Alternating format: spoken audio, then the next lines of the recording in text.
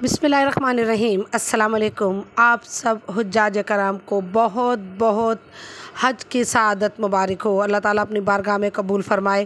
ہم آپ کو کچھ مزید انفارمیشن سے مطلع کرتے ہیں جو وزارت نے جاری کی ہیں۔ آپ ہمارے ساتھ رہیے، ہمارے چینل کو سبسکرائب کر لیجیے اور بیل آئیکن پریس کر دیں تاکہ آپ کو گاہے بگاہے معلومات ملتی رہے۔ بہت شکریہ۔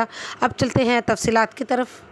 پاکستان واپس آنے والے حجاج کرام کو وزارت نے یہ ہدایت کی ہے کہ آب زمزم کی جو وصولی ہے پانچ لیٹر بوتل کی، اس کے الگ الگ ایئر لائنس کا الگ الگ حساب ہے۔ آپ اس ویڈیو میں تمام تر تفصیل جان لیں گے کہ اگر آپ جس بھی ایئر لائن سے آ رہے ہیں تو اس کو کس طرح سے آپ نے اپنے آب زمزم کا حصول ممکن بنانا ہے۔ وزارت نے کہا ہے کہ وطن واپس آنے والے سرکاری حجاج کرام کے لیے زمزم پالیسی یہ ہے کہ سعودی ایئرپورٹ سے زمزم لینے والے سرکاری حجاج کرام بوتل پر اپنا نام اور قوائف لازمی لکھیں۔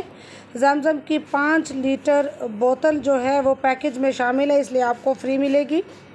اگر آپ پی آئی اے سے آ رہے ہیں تو پی آئی اے کے ساتھ سفر کرنے والے اگر آپ پی آئی اے کے ساتھ آ رہے ہیں تو اس میں سفر کرنے والے کوئٹہ اور سکھر کے علاوہ تمام حجاج جدہ اور مدینہ ایئرپورٹ سے زمزم لے لیں گے اور اپنے سامان کے ساتھ بک کرائیں گے۔ کوئٹہ اور سکھر کے حجاج کے لیے زمزم، کوئٹہ اور سکھر ایئرپورٹ پر فراہم کیا جائے گا۔ یہ صرف پی آئی اے کے مسافروں کے لیے ہے کہ وہ اپنا آب زمزم وہیں مدینہ اور جدہ ایئرپورٹ سے وصول کریں گے۔ یہاں پاکستان آ کے ان کو پھر آب زمزم کی بوتل نہیں ملے گی۔ وہاں ایئرپورٹ پر کاؤنٹر بنے ہیں۔ آپ ان کو اپنے قوائف، کاغذات ڈاکومنٹس دکھا کر آب زمزم وصول کر لیں اور اپنی بوتل پر اپنا نام اور تفصیلات پاسپورٹ نمبر وغیرہ درج کریں تاکہ یہاں پہ اب جب آپ سامان بک کروا لیں گے تو جہاں جب آپ کو سامان دیا جائے گا تو بوتل آپ کو وہی والی فراہم کر دی جائے گی۔